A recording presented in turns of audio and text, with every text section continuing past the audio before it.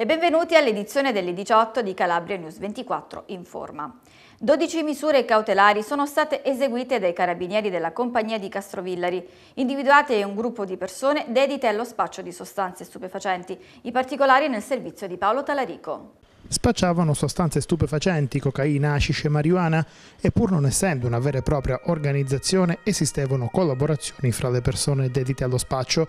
In tutto sono 12 le persone raggiunte da misure cautelari eseguite alla compagnia dei carabinieri di Castrovillari, 3 gli arresti in carcere, 4 donne finite gli arresti domiciliari e 5 obblighi di firma.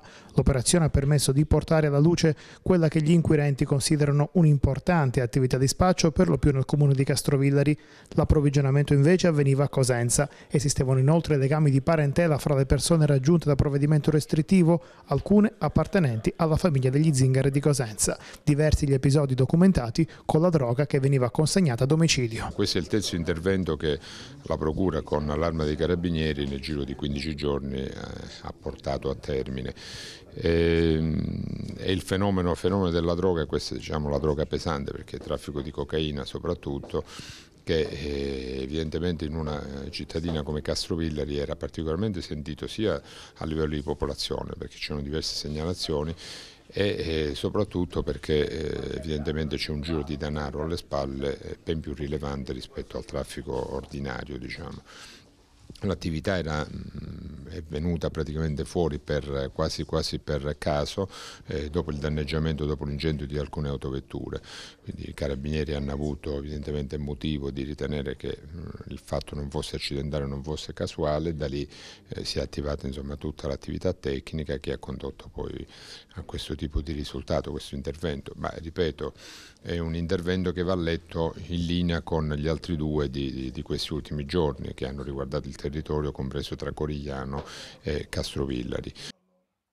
E sempre a proposito dell'operazione Piramide, il procuratore di Castrovillari Eugenio Facciolla parla del coinvolgimento della criminalità organizzata e del ruolo delle donne. Non era una vera e propria associazione a delinquere, ma le persone coinvolte nell'attività di spaccio collaboravano fra di loro. E quanto emerge all'inchiesta che ha portato all'operazione Piramide, nel corso della quale sono stati eseguiti 12 provvedimenti cautelari. Legami familiari che hanno fatto parlare di questa piccola dynasty facilitavano quindi i rapporti anche nell'ambito dell'attività di spaccio. Per quanto concerne l'approvvigionamento, da valutare il legame con il clan degli zingari. Il legame con la cosca degli zingari è quello che sostanzialmente ho già, ho già detto. Eh, noi sappiamo, abbiamo certezza di eh, canali di approvvigionamento che sono molto forti, molto autorevoli e che arrivano evidentemente non a livello locale ma arrivano da fuori zona. Su questo però non abbiamo, non siamo riusciti a, a raggiungere diciamo, questo livello anche perché comunque avremmo eh, coinvolto certamente eh, la direzione distrettuale antimafia qualora si fosse verificata un'emergenza simile. Eh, è certo però che c'è un canale eh, molto, molto serio che rifornisce la zona, se vogliamo sintetizzare al massimo, e dove poi ci sono i singoli soggetti che hanno questo ruolo di eh, accaparrarsi, approvvigionarsi della sostanza e poi distribuirla di volta in volta a livello territoriale. Anche quattro donne, finite gli arresti domiciliari, fra le persone raggiunte da provvedimento restrittivo, a conferma che in attività di questo tipo è coinvolto un numero sempre maggiore di donne. C'è un, un, naturale, un, naturale avvicendamento nel, nelle dinamiche interne, spesso sono familiari, eh, conviventi, compagni, fidanzate, mogli, insomma, comunque ecco, è un avvicendamento dovuto a, alla carcerazione, dovuto ai maggiori controlli che vengono fatti perché grosso modo anche in questo caso abbiamo soggetti che sono già pregiudicati, sono recidivi per reati specifici, quindi magari ecco, ricorrono a questi espedienti per evitare i controlli delle forze dell'ordine.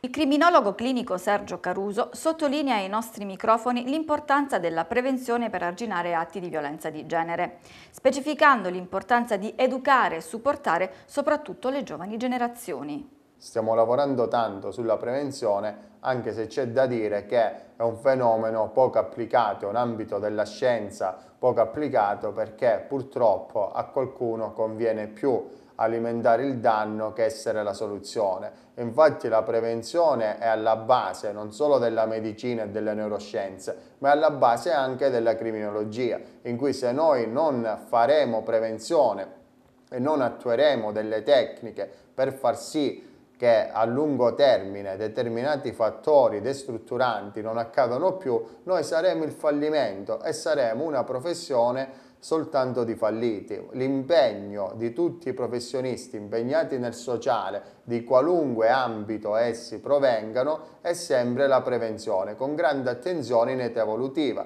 Ne dico soltanto questo, un buon modo per prevenire ed intervenire in ottica preventiva sulle dinamiche che un domani saranno la violenza di genere, lo stalking, l'abuso e l'educazione affettiva, la cosiddetta emotion care, che nei paesi 30 anni più evoluti di noi è già un'ottima realtà ben costituita.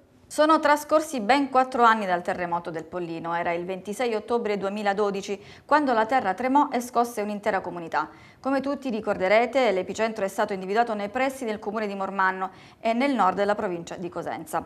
Un evento sismico molto intenso di magnitudo 5 che ha provocato moltissimi danni ma fortunatamente nessuna vittima. Ricorda l'evento il presidente del Parco Nazionale del Pollino Domenico Pappaterra. Ah, devo dire che raccontare queste esperienze in pochi minuti è complicato, però provo eh, dire, a dettare giusto alcune le tappe più significative. La prima, eh, questo voglio dirlo, noi eh, erano già due anni che nel Polline e a Mormanno in particolare c'era questo sciame sismico persistente, quindi la popolazione, eh, non voglio dire che era preparata, ma io peraltro l'ho vissuto sulla mia pelle, quindi io vivo lì. E, e quindi quando è arrivata la scossa, quella del 26 ottobre, eh, come l'abbiamo vissuta come il momento topico ma di una fase che era durata, come dicevo prima, da tanto tempo. E quindi la prima questione abbiamo avuto davanti, la prima grande questione, è stata quella di costruire un patto di comunità.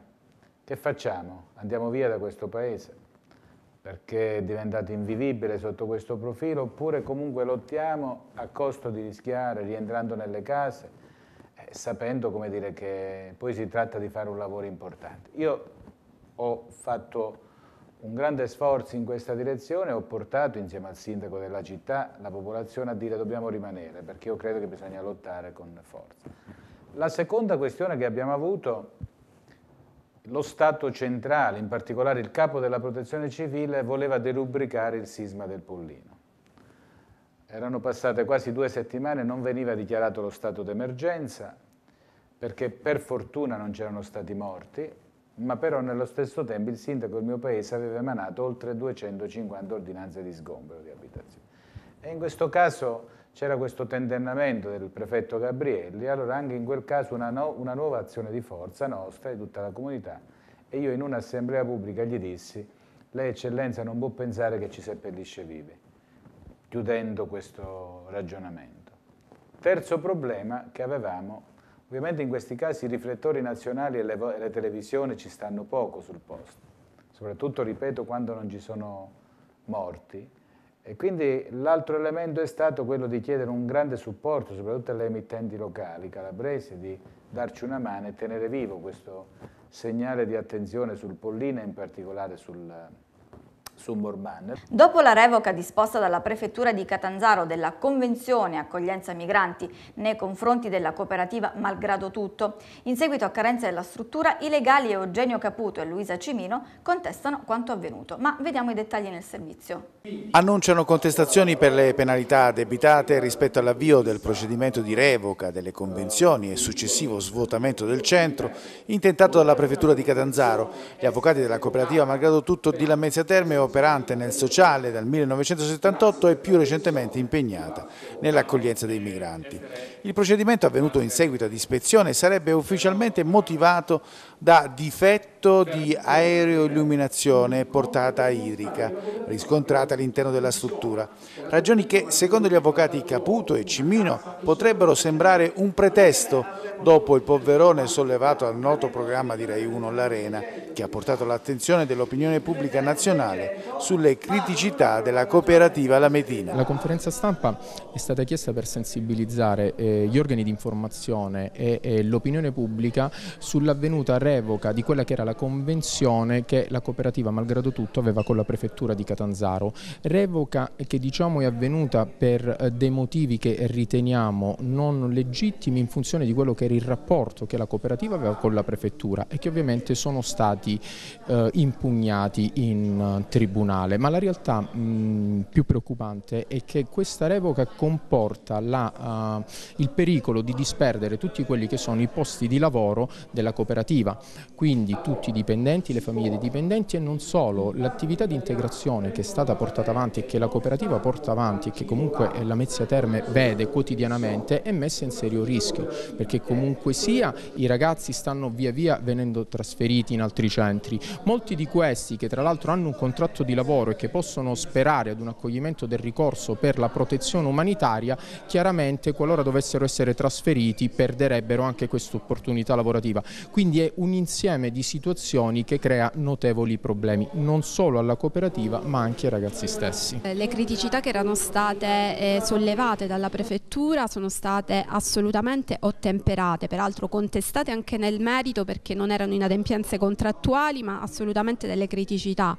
Criticità che con relazione tecnica del 2-5-2016 eh, a cui si è fatto riscontro eh, vi è stata trasmissione di tutta la documentazione che la prefettura richiedeva, che peraltro in parte aveva, avevano già in, in mano e, e Pensavamo, speravamo anche a seguito del, del controllo disposto dalla, dalla, prefettura dell'ennesimo sopralluogo che avendo dato atto che le criticità erano state superate non venisse disposta eh, la revoca della, della convenzione. E ci spostiamo a Palmi in provincia di Reggio Calabria dove la Guardia di Finanza pone i sigilli al teatro comunale all'aperto. Pare che la struttura sia priva di collaudo statico finanzieri della Compagnia di Palmi hanno sequestrato il teatro all'aperto realizzato in località Motta, struttura comunale con una capienza di quasi mille posti utilizzata per numerose attività e manifestazioni. Dall'attività di indagine effettuata dalla Guardia di Finanza, che hanno dato esecuzione al decreto di sequestro preventivo, è emerso che la struttura, oltre ad alcune parziali difformità tra quanto realizzato rispetto agli elaborati progettuali, risulta di fatto priva di collaudo statico e pertanto inagibile.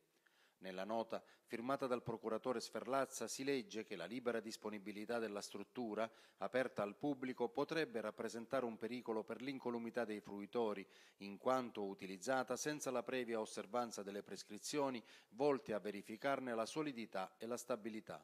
E per questa edizione è davvero tutto, io vi aspetto alle 20.45 per nuovi approfondimenti. Grazie e a più tardi.